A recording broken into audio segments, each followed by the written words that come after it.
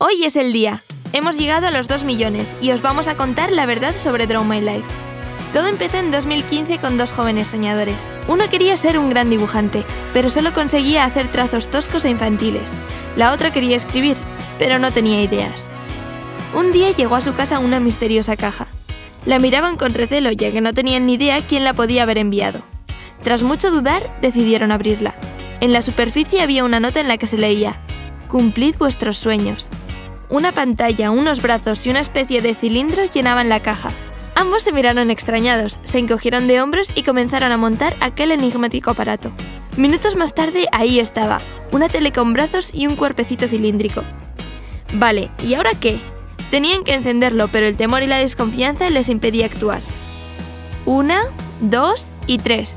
Apretaron el botón y una enorme sonrisa apareció en la pantalla. Los brazos comenzaron a moverse y a saludar eufóricamente. Los jóvenes creadores no podían creer lo que veían. El mini robot observaba el estudio. Se acercó a la mesa del dibujante y se puso a reír al ver los dibujos. De repente una luz salió de su tripa y comenzó a proyectar unos rotuladores. Poco tiempo después, la mesa estaba llena de rotus. El dibujante abrió la tapa de uno y empezó a dibujar. El resultado era increíble, nada que ver con sus anteriores diseños. Era como si los dibujos cobraran vida. Con una gran sonrisa, el robot cogió la mano de la atónita escritora y de su tripa proyectó a Taylor Swift cantando. A la escritora se le encendió la bombilla. Podían contar la historia de la cantante con dibujos. Lo hicieron y lo publicaron en YouTube como otros youtubers. Al increíble robot lo llamaron Drowy y el canal fue creciendo. Contrataron a otros dibujantes y guionistas y se mudaron a unas oficinas más grandes. Ahora hemos llegado a los 2 millones y Drowy quiere celebrarlo con vosotros. Venga, cuéntales la verdadera razón por la que Drowy está aquí. ¿Estás seguro? ¿No crees que puede ser peor? Merecen saber la verdad. Bueno, vale. ¿Recordáis al señor oso? Pues bien, gracias a vosotros pudimos seguir su rastro, pero siempre iba un paso por delante.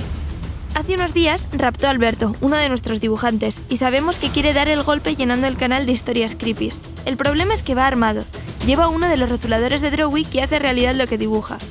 Drowy es el único que puede combatir al señor oso y por eso ha venido. En unos días os contaremos cómo se va resolviendo la historia, pero tenéis que estar muy atentos a las redes y a la pestaña de comunidad, porque necesitaremos vuestra ayuda para esclarecer esta misteriosa historia. Gracias por estar siempre con nosotros y hacernos llegar a los 2 millones.